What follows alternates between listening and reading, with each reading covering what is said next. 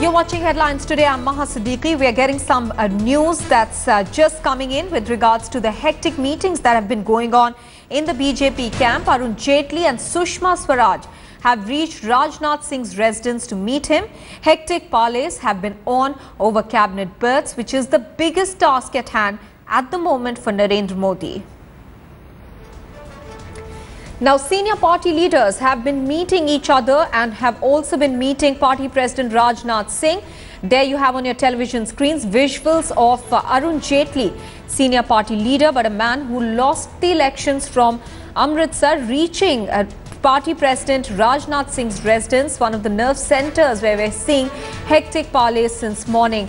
The other nerve center is the Gujarat Bhavan, where Narendra Modi himself is meeting senior leaders. He has met Arun Jaitley as well as Amit Shah. In fact, he has been meeting bureaucrats as well because he's trying to firm up his own team as far as the Prime Minister's office goes. Also trying to make up his mind on uh, the, some of the other top posts like the NSA.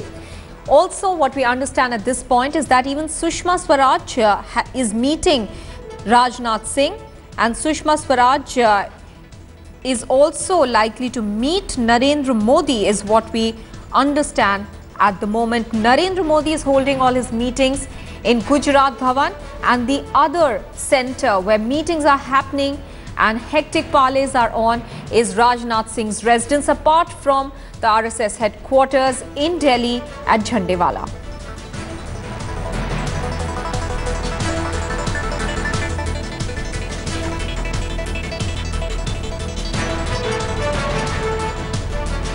Deputy Editor Brijesh Pandey is now joining us with more details. Brijesh, uh, we do understand that Arun Jaitley, even though he may have lost the elections, will be accommodated in one of the top positions in the cabinet. What are you hearing?